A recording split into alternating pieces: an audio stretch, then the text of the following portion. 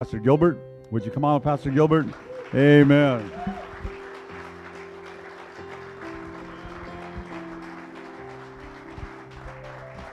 Amen. How many love Pastor Gary Duran? Isn't he doing an awesome job with this conference? Amen. We've had some powerful words shared today that I'm going to go home. I, I brought my notepad. I, I started taking notes. I had to take notes because I want to become a better man. I want to be a better man. I know today you see before you a guy with a sports coat, white shirt, and ironed pants. Uh, I wasn't always this way. I wasn't always this way.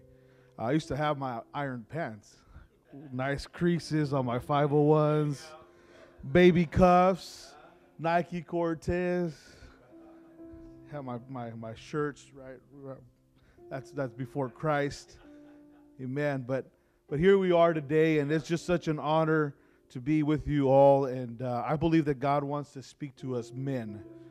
And so I think that there is there are many giants that we have to slay as men. And when we begin to slay these giants, God allows us to become better men, better husbands, better fathers, better Christians, better leaders. And that is the will of God. God wants us to be better because the world is looking for hope. The world is looking for people that offer more than what the world offers. And when we're stuck and bound, struggling with things such as addictions, then we don't seem attractive to the world. The world doesn't want us to have great lights and great stages and great buildings. The, the world is looking for a people that have hope, that have gotten better, that are progressing, that, are, uh, that, that have something to offer. And we might not have the biggest buildings, we might not have the greatest, the greatest anything, but we have Jesus Christ who has come into our lives and changed us and transformed us. So today I have the, the, the privilege of, of talking about killing the giants of addiction. And I mentioned the sports code. And, and again, you see me here and you might wonder, well, did this guy ever have any problems with addiction? And, and, and does he have any place to speak on this thought? And, and, and I want to begin by submitting to you that I actually do. I, I, I, uh, I actually do. Uh, I want to get, brother, could you put the picture up? It was uh, 2000, uh, the year 2000 February the 5th, the year 2000, when I, my older brother, the guy that you see with the white shirt, the hair back, uh, praying for that kid in the red shirt, my older brother invited me to church. I didn't want to go, I, I, I, but then I thought, well, maybe I'll meet some girls there, so I decided to go. if you're single and you're looking for a wife, you got to know where to go. And so uh, I knew church was a good place to go. So I, I, decided to go, and I remember going. My brother was a, an early bird. He always liked to be everywhere early. So we got there, uh, and uh, we were super early. And as I was there, I was like, man, I need a frajo. I need a cigarette. And uh, so I, I, walk out of the church. I find an alley. I go smoke a cigarette, come back inside the church, and uh, someone caught me smoking a cigarette. And so, uh, they said, so they were super nice. And so they allowed me to come sit back in. And that night, God was speaking. We had a guest speaker. Uh, it was a powerful move of the Holy Ghost, and we're grateful for that. But in that night, I remember that I was arguing with God because I had been raised in the church, but I had walked away years before because I just enjoyed the world. I enjoyed uh, partying. I enjoyed different things. And so, uh, as I had got, gotten away from God, uh, I was at this service and I was wrestling within myself, saying, God, I'm not ready to serve you yet. I'm not ready to do this. I'm, I'm still young. I still got a future. I still want to have fun. I still want to party. And I was a tagger at the time, so my big dream was to write my name on a train. That was my, my biggest. Lord, when I complete that duty, then I'll come back and I'll serve you, right? But that night, the Spirit of God moved upon me, and I couldn't do anything else but, but I couldn't resist the presence anymore. So I remember raising my hands towards heaven and I just started crying out to God, which is what you see here. That kid in the red shirt, that's me. And so I walked in there that day bound by alcohol. I was using meth. I was involved in gangs. I was riding all over the streets of Fresno. I, I, was a chain smoker.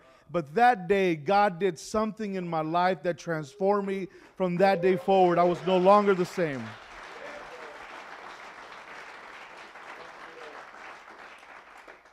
And so, if, if you're asking, does this guy have anything to say about addiction and overcoming addiction, I want you to know that I do. I've been there, I've done that, I got the t shirt. But today I want to share with you some of the things that God allowed me to look back on and reflect on in order to see where I used to be and see where I am now today. And I'm not, a, I'm not perfect. If anyone says they're perfect, they're lying. All right? We've all sinned and fallen short of the glory of God. So we're not perfect. I'm not going to get up here and tell you that I'm perfect. God is still working on me. I'm still a work in progress, brother. Thank you so much for the word. I struggle with anger. I become a different person when I'm on the road. It's funny, the idiots do come out when I'm driving. I'm a work in progress. Amen. But I say that to say that there's hope for all of us. Amen. There's hope for all. 1 Samuel chapter 17, verse 40 to 51 says, Then he took a staff in his hand and he chose for himself five smooth stones from the brook, and he put them in the shepherd's bag, and a pouch which he had, and the sling which was in his hand, and he drew near the Philistine. And the Philistine came and began drawing near to David, and the man who bore the shield went before him. And when the Philistine looked about and saw David, and disdained, he disdained him, for he was only a youth, and a ruddy, good-looking uh, youth. So the Philistine said to David, Am I a dog that you come to me with sticks? And the Philistine cursed David by his gods. And the Philistine said to David, Come to me, and I will give your flesh to the birds of the air and the beasts of the field. Verse 45 says, Then David said to the Philistine, You come to me with a sword and a spear and a javelin, but I come to you in the name of the Lord of hosts, the God of the armies of Israel, who have defied, and this day the Lord will deliver you into my hand, and I will strike you and take your head from you. And this day I will give the carcass of the camp of the Philistines to the birds of the air, the wild beasts of the earth, and all the earth that may know that there is a God in Israel. Then all the assemblies shall uh, know that God, the Lord, does not save with a sword or a spear, for the battle is the Lord's, and he will give you into our hands. Verse 48. So it was that the Philistines arose and came, drew near to meet David, and David hurried and ran toward the army to meet the Philistines or Philistines, whatever you want to call it. Then David had put his hand in his bag, took out the stone, slung it, and struck the Philistine in the forehead, so that the stone sank in his forehead. He fell to his face on the earth. So David prevailed over the Philistine with a sling and a stone, and struck the Philistine uh, with, and killed him. But there were no swords in the hand of David. Therefore David ran and stood over the Philistine, took his sword, drew it, and out of his sheath, uh, and killed him and cut off his head. And today I want to talk to us though on this thought killing the giants with an S of addiction. Killing the giants of addiction. Let's pray. Father, we thank you for this time together. We bless you. God, you have been so good to us by teaching us, God, through your word, how we can conquer and kill and slay the giant of fear and of anger. But Father, there are things that we struggle with as men, addictions and vices that we have, Lord. But today you're going to give us the tools that are necessary in order for us to overcome, to overthrow, to slay, to kill these giants that lie before us, Lord. I thank you for what you're going to do. Anoint our ears to hear, open our eyes to see, touch our minds to understand, and our hearts to hide your word. And we pray that you would anoint our bodies to put to action what we hear today. We ask this in your beautiful name, in the name of Jesus. And everyone says, Amen. Amen. Clap your hands and give the Lord some praise today. Thank you, Jesus. In the story that we've read, we read of an encounter between the enemies of Israel and God's people, the people of Israel. And so they are going back and forth at a battlefield. And the Philistines, the enemy of God's people, come out with a giant, a champion, a man that's scary looking, man that's big, a man that's crazy, someone that you don't want to mess with. And so it was a bit scary to look at this giant because he could tear your head off. No one wanted to fight this giant. He was intimidating. But now David had showed up. He saw what was going on. He heard what the giant was saying. And he knew that there was uh, uh something inside of him that had to bring about a change. He knew he had to do something. And if no one was going to fight the giant, he was willing to fight the giant himself. And so he fights this giant and he fights him in an unconventional way. Instead of using a sword, instead of using a spear, instead of using a bow and arrow, instead of using different weapons that they had to offer in those times, David decided, I'm going to do this very, very differently. So the Bible tells us that he gets a sling, he gets five smooth stones, and he uses that in order to overthrow, to defeat, to kill the giant. And so it works. He does something that no one else was willing to do. He conquers the giant, he cuts off his head, and he gives his people the victory. It was one unconventional way that he was able to slay and kill the giant. You and I, at times, will face addictions, we'll face battles, we'll face things in our lives, and it will require a different approach. Our approach can't always be the same, it can't be cookie cutter. And so today I want us to look at this first story of David killing this first giant as an opportunity for God to move in our lives so that we can break the back of addiction that is upon us. I believe that God wants to set each and every one of us, each and every one of us free, but it requires sometimes for us to do things unconventionally. We can't do it the same way we've always done it. If you do the same thing expecting different results, you're going crazy. But I believe that we have to look at things from a different perspective. And so the purpose of me showing the picture earlier today was the fact that uh, uh, years ago, uh, when I first walked in through that church, through those doors, I was dealing with alcoholism.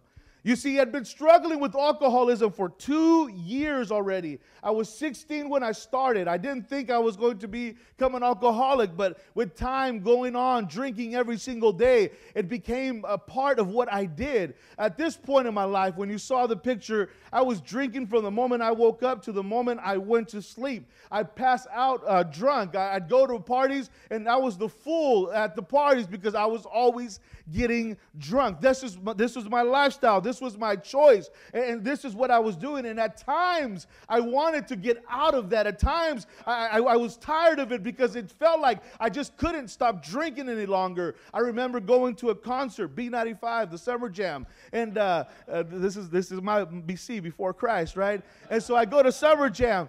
And, and, and, I got so twisted, I got so messed up that, that I was fighting people at the concert. My girlfriend had to walk me out. I, I passed out on the, on, on, the grass out there by, by the Selland Arena, and her dad has to pick us up. They, they drive us home. And as I get out of his suburban, I pass out and I hit the asphalt on my head. He, they have to, both my girlfriend and, my, and her dad have to pick me up and carry me into my front door, knock on the door. My mom opens the door and sees her son wasted. This was my story over and over and over again. So I got to the point where I got desperate and I knew that if I went to AA, I could get some help.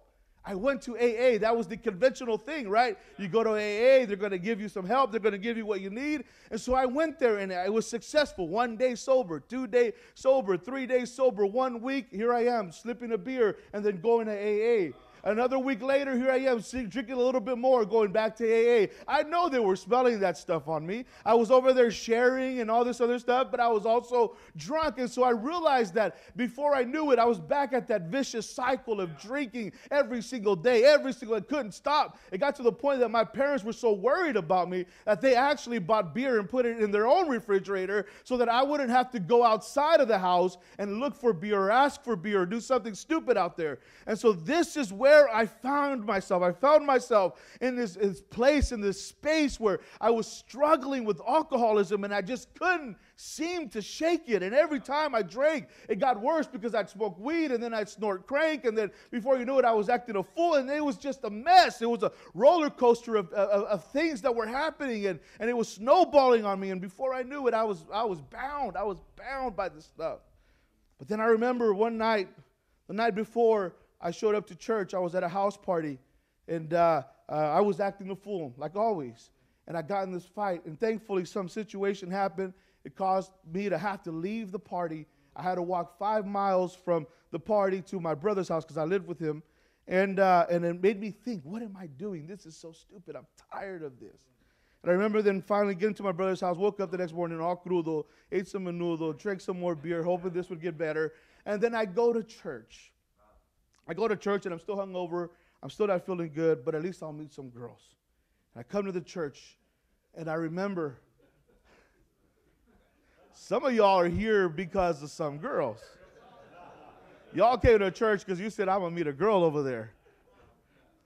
But I remember, I remember I show up to church, right, and I told the story, but I get there, and at the end, Pastor Sam Emery preaches a message. I can't tell you what he preached, but I can tell you what I felt. The Holy Ghost was moving. The power and the presence of God was in that house. People were at the altar crying, giving their lives to the Lord. And I remember I'm sitting back there arguing with God about how I don't want to surrender, but I could feel the power and the presence of God. And I remember thinking, I've done this before, I've cried before, and I and I do this and I cry at the altar, but then I find myself going back to that vicious cycle of alcohol alcoholism. And so I remember just thinking, God, I'm not ready, I'm not ready, I'm not ready. And I couldn't resist God's presence anymore. So I remember lifting up my hands that day and just crying out to God and asking God, God, here I am, Lord. If I if I'm gonna do this, then I'm gonna do this from this day forward. I'm not going back. And I'm telling you, I've been 23 years clean and sober. I never had another drink of alcohol.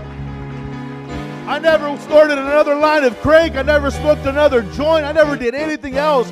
I'm telling you, it was that unconventional encounter uh, like David who took a sling and five smooth stones and slayed the, the, the giant that day. I was able to go into a house. I was able to go to an altar. And I was able to face my giant in an unconventional way. And God set me free from alcoholism. God set me free from meth. God set me free from those addictions that had me back Come to tell someone today that maybe you're looking for help in other areas and uh, in conventional ways. Find yourself an altar, and I guarantee you the same God that set me free can set you free as well.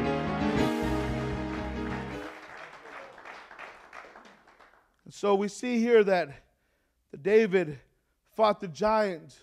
This giant could be represented addiction, and he fought the giant in an unconventional way. And he had victory over this giant and gave everyone else victory as well. Telling you, God wants to deliver us. Psalm 34 4 says, I sought the Lord, and he heard me, and he delivered me. So the battles over addictions, amen, could be won at an old fashioned altar. Today, before everything's said and done, Pastor Gary said we're going to have an altar call. And I believe that today, those that may be battling with different types of addictions, those addictions can break in the powerful name of Jesus Christ. But sometimes we fight our addictions, our giants against addiction, and they can't be won like David won the fight against Goliath. Our approach is with the name of the Lord, and we knock it out and we kill it, yeah. never again to go back.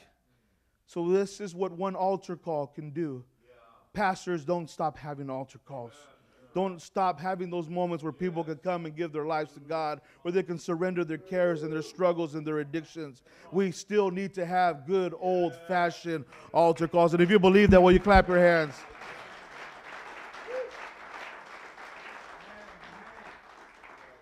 But as you read the story of David, you realize that Goliath was not the only giant that he fought.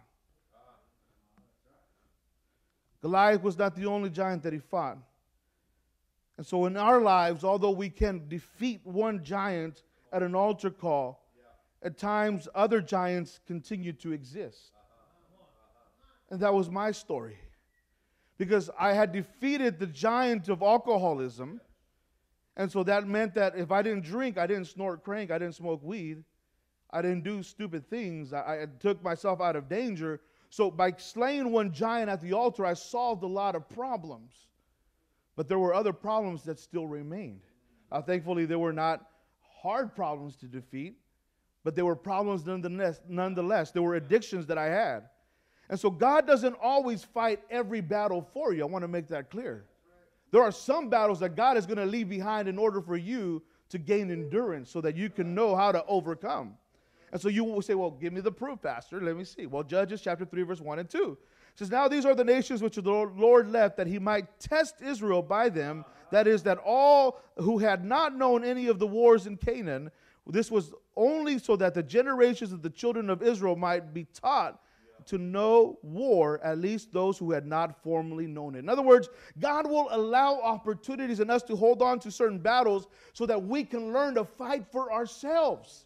Because if we don't know how to fight, we're going to lose every time. And so God in his wisdom will take away some of the hardest things in our lives, those things that no matter how hard we try, we just can't get rid of. So in an unconventional way, by going to the altar, God sets us free. But he allows other things to stay in our lives so that we can learn how to overcome because we appreciate what we worked for, right?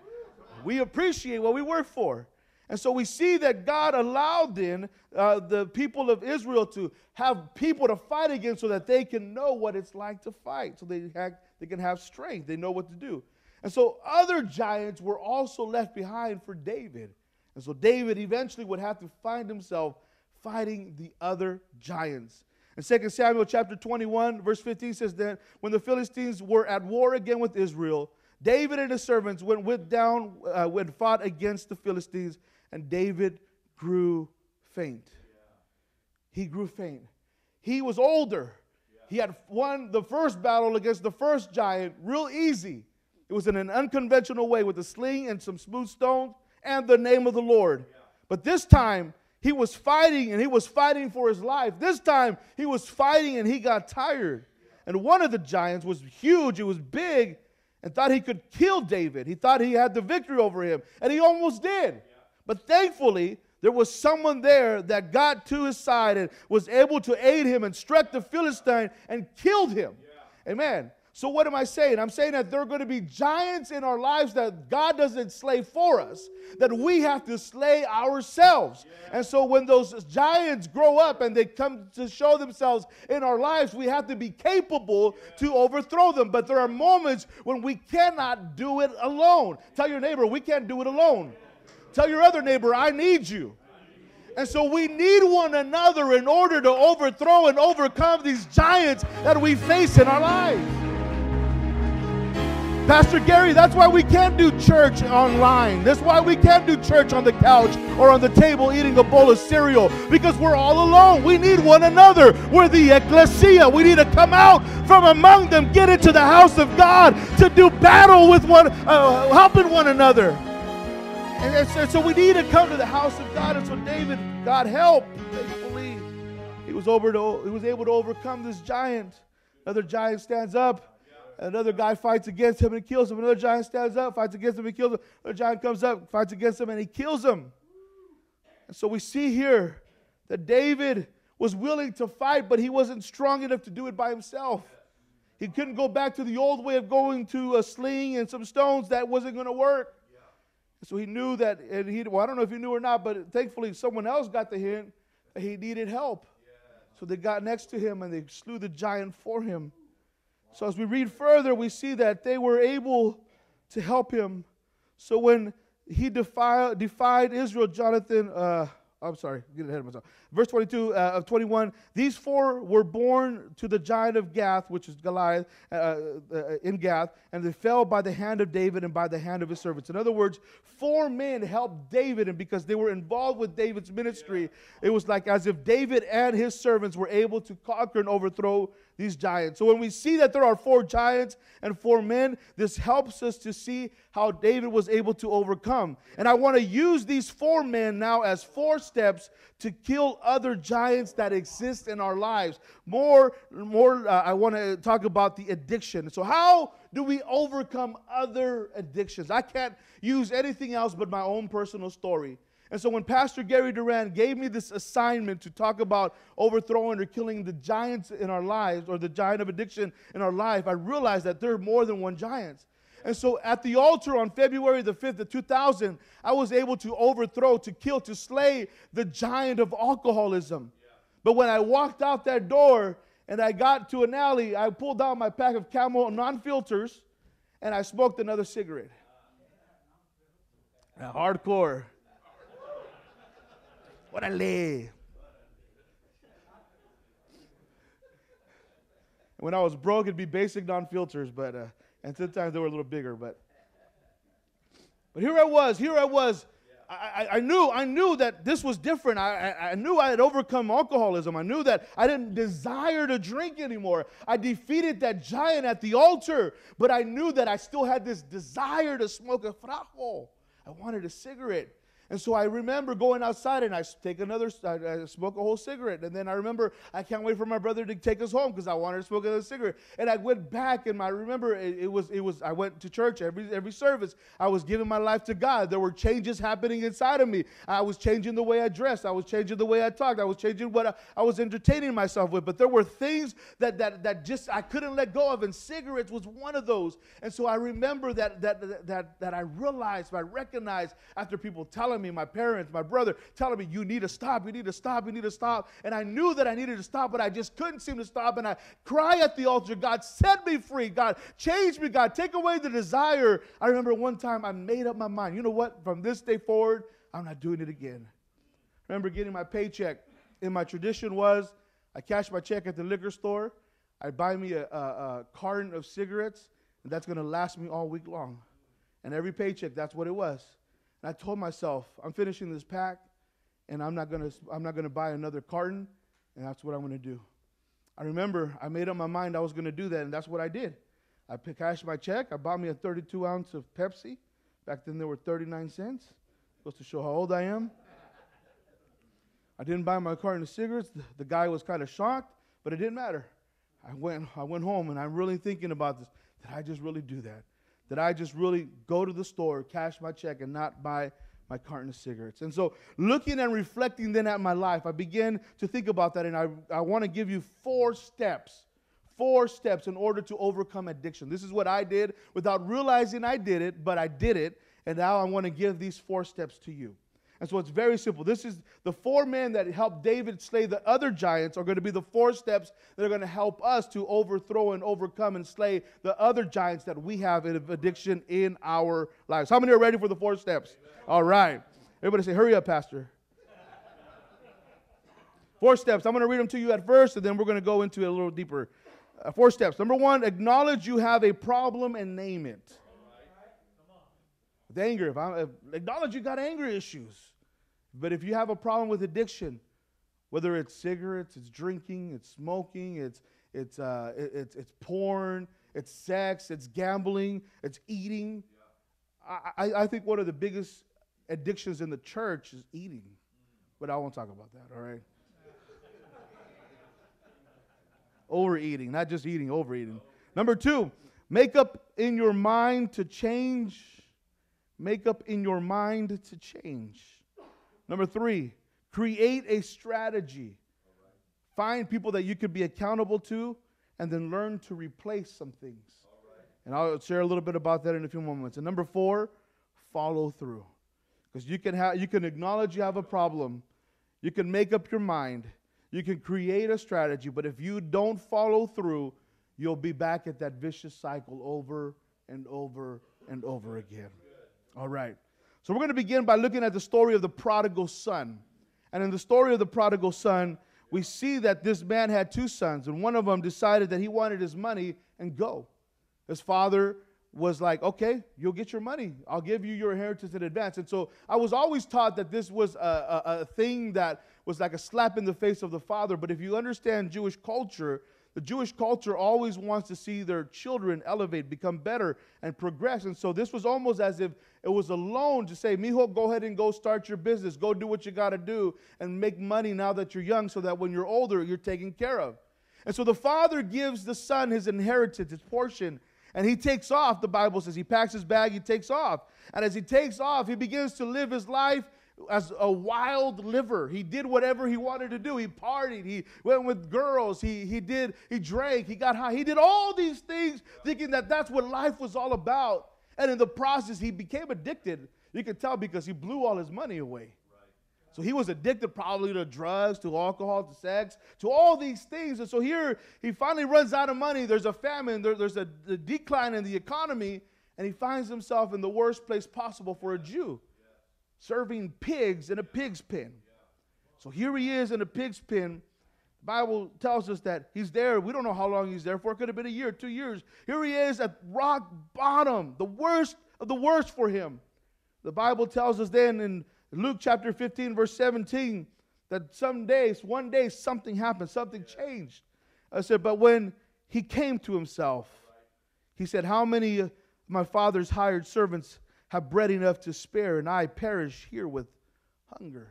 In other words, he came to a moment where he recognized, he acknowledged where he was. He realized that here I am in the worst condition possible because of my decisions.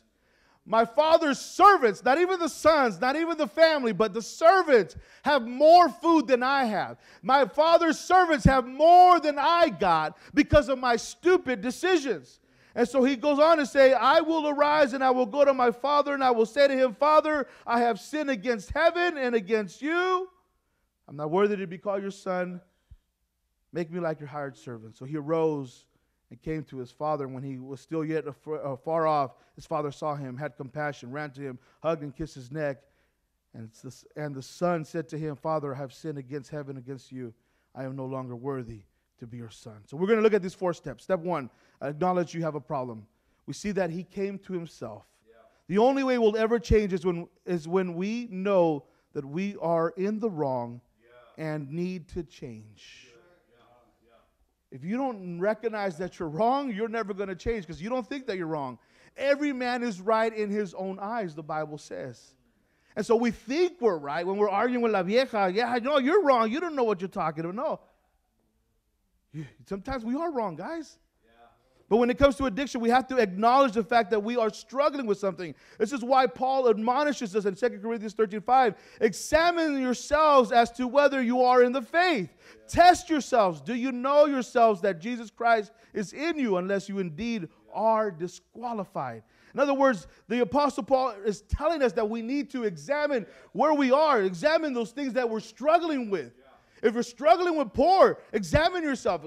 Is this right? Is this holy? Is this would this honor my wife? Would this honor my vows? If you're struggling with alcohol, is this beneficial to my family, to my home? If you're struggling with cigarettes, is this going to help my health? I'm telling you, if you're a smoker, quit today. My father died of lung cancer because he was a smoker, and it's an ugly death. Don't go that route. Quit today. I admonish you, quit today. But if you have a problem, examine yourself, acknowledge it, and name it. I have a problem with smoking. I have a problem with drinking. I have a problem with porn. I have a problem with this. I have a problem with that. And name it.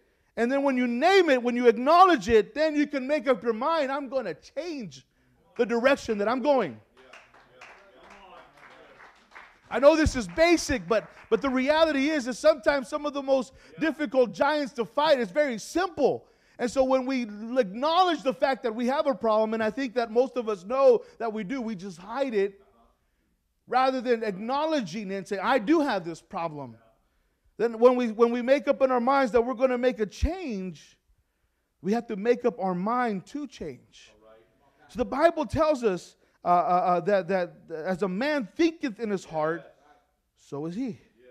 So we have to then understand that we have to not only acknowledge our mistake, our addictions, but we also have to make up our mind that we're going to change. That's why the Apostle Paul says, Be ye transformed by the renewing of your mind. We have to change our mind. If we change our mind, we change our direction. And so we have to, number two, make up our mind to change. And number three, then we have to create a strategy. So this is what he says He says, I will arise and I will go to my father and I will say to him, The, pro- the prodigal son didn't just just say, I got a problem. He didn't just say, I'm here with the pigs. He didn't just say, this is pretty bad. No, he decided to acknowledge his situation and he decided then to examine himself and recognize where he was. And then from there, he decided to create a strategy to say, I have to do something different. I can't do what I've always done because I'll find myself over and over at the pig's pen. I'll find myself at rock bottom. I have to change my mind.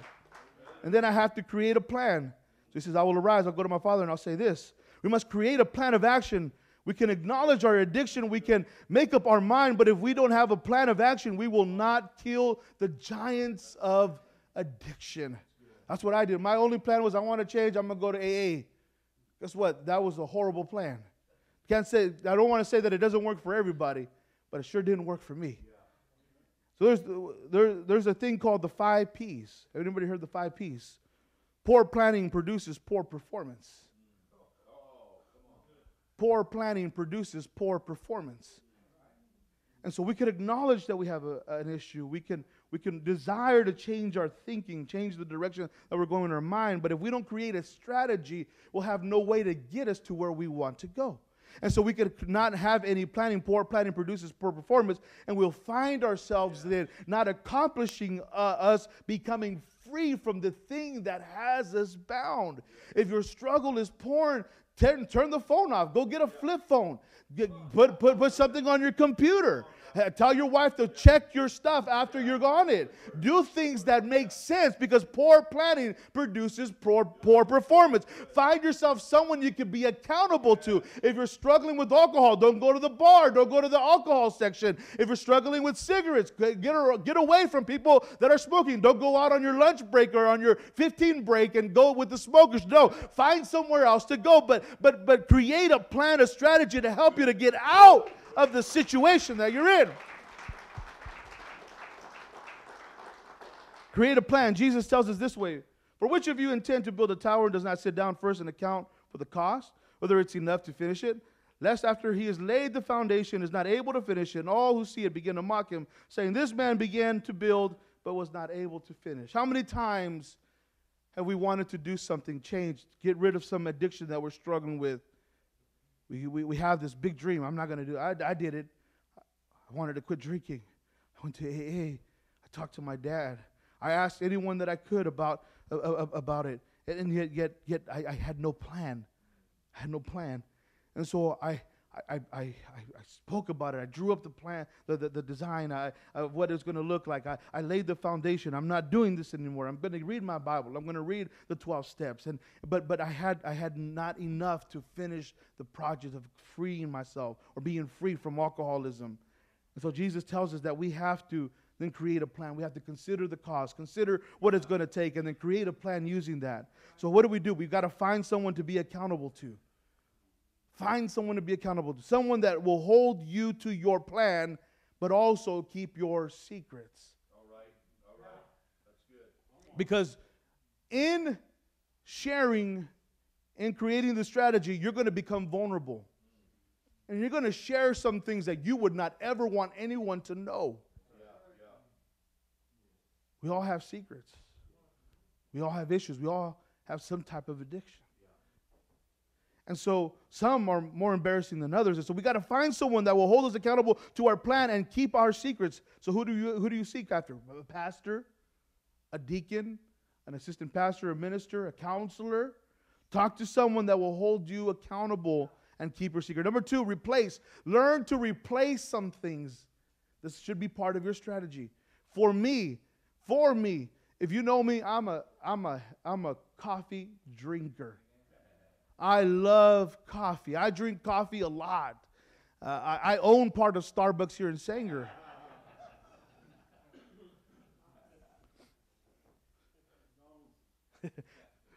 Pastor, when, when it's, it's Pastor Duran's turn for us to meet, we meet at McDonald's. When it's my turn, we meet, eat at Starbucks.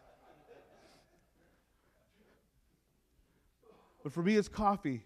You see, I was able to slay the giant of alcoholism at the altar. But the giant of cigarettes was a whole nother story. So I remember that I had I had certain triggers, certain cues. Yeah. I ate. After I was done eating, I'd smoke. Go to the bathroom, I'd smoke. Go outside, I'd smoke. Wake up, I'd smoke. Before I go to bed, I'd smoke. So I had these cues when things happened, I, it triggered me to go and smoke. So guess what I did? We filled up that pot of coffee at my mom's house. And every time I ate, after I ate a, a meal, I drank a cup of coffee. When I got up in the morning, guess what I drank? A cup of coffee. Went to the restroom after I was done, I drank a cup of coffee. I replaced something for something else, something bad for something good. Coffee's of God, it's the will of the Lord.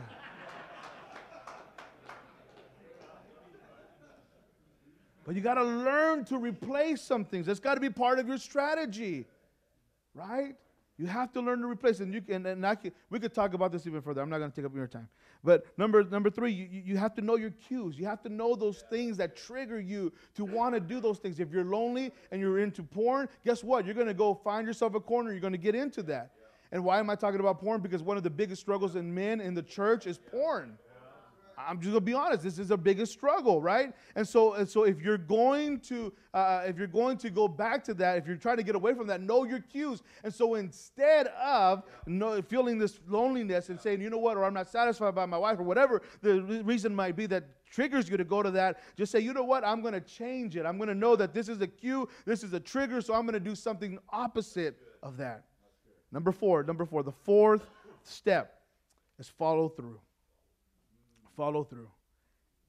And so I didn't I didn't realize this at the time. It wasn't a step thing for me, but I remember when I when I was when I was going to release this addiction of, of smoking, I knew I had a problem. Everybody told me. I knew I had a problem because I couldn't stop as much as I wanted to, as much as I tried. But I acknowledged my problem, named it. You have a problem with smoking, dude. Number two, I made up I made up my mind to change. Yeah. I said, This is the last one. I'm not going back into that store to buy another carton. This is it. Number three, I created a strategy. Chris, that's my older brother. If you smell smoke on me, tell me. Big Joe, smell smoke on me, tell me. Finally, it took follow through. I had to go to that store, that liquor store, on that Friday afternoon with my $152 check. Minimum wage was horrible back then.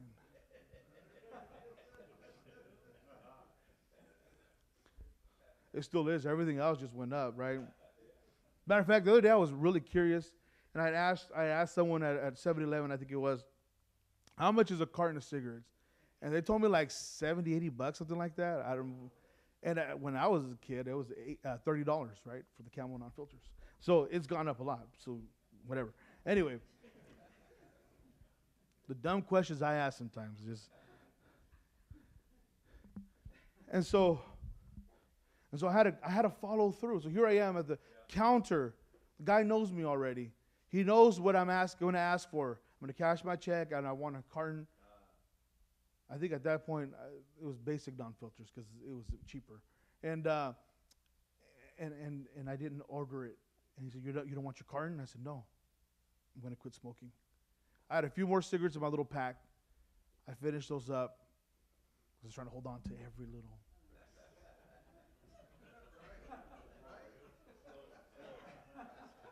I wasn't that spiritual person that threw in the trash or the flush them down the toilet. In the name of Jesus, I rebuke you. No, no, it was it was a process. It wasn't easy. But I followed through.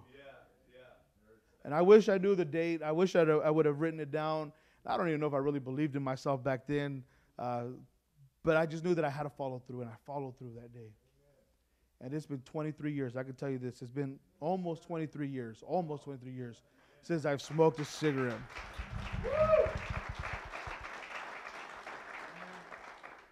So you might be here today and say, I don't have any addictions, Pastor. Your message does not apply to me. We all struggle with something.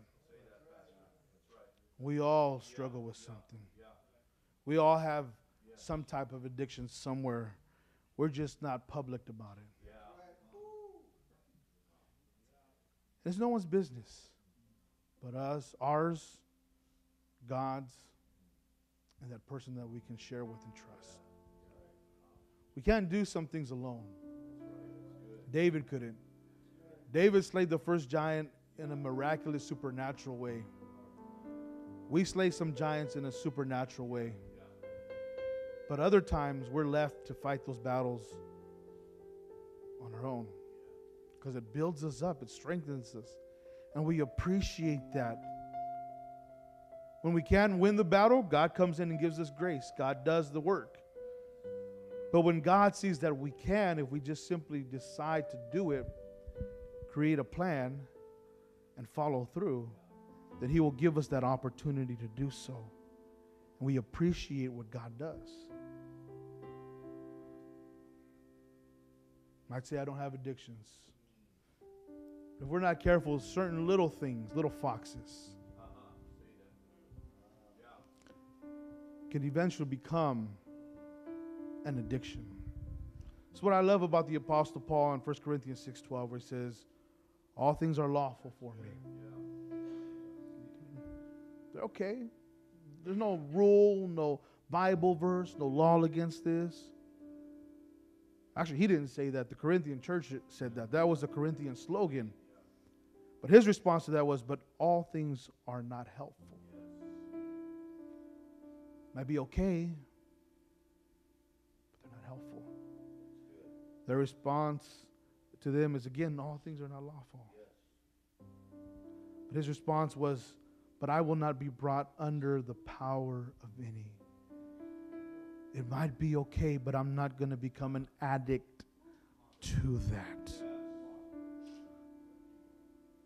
I want every eye closed.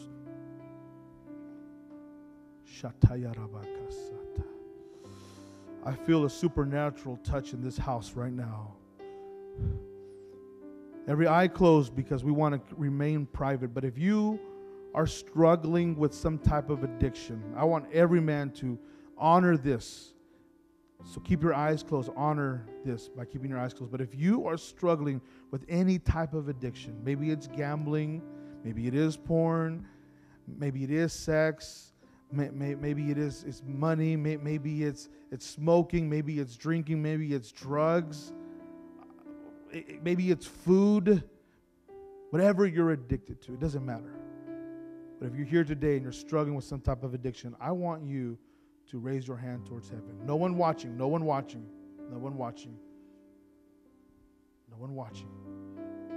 Honor your brother, no one watching. I'm not even watching. I want to thank you for being honest and acknowledging your addiction. You can put your hand down. Now, I want us all to stand to our feet. And I just want to pray a simple prayer over you. I know we're going to have an altar call at the end. And I believe that at that altar call, some addictions are going to break in the mighty name of Jesus. Raise your hands again towards heaven. Father, I pray in your precious name. You see these men, these men that love you, that desire to serve you, that give their all, God, to you. They're not here because they want to go through the motions, but they're here because they desire, God, to slay the giants in their lives. Whether it's fear, whether it's anger, whether it's addiction, or even rejection. Lord, I pray today that you would help us, God, to bind together, to pray for one another, and to understand, Lord, that you have given us power not just in our own human ability, but also with the Holy Ghost to overcome these addictions but even in those moments, God, when you don't supernaturally take away that addiction from us, you've given us the ability to look at four steps that we can take in order to change the direction of our life, in order to break the back of addiction. Father, I pray today that we would take this word to heart and that we would apply it to our lives, that we would not be hearers but doers of the word. I pray today for your people, God. Give us the strength, give us the strength, give us the strength that we need, God, to overcome. We pray this today in the mighty, beautiful, matchless name of Jesus. In Jesus' name. If you receive that, will you clap your hands and give God some praise?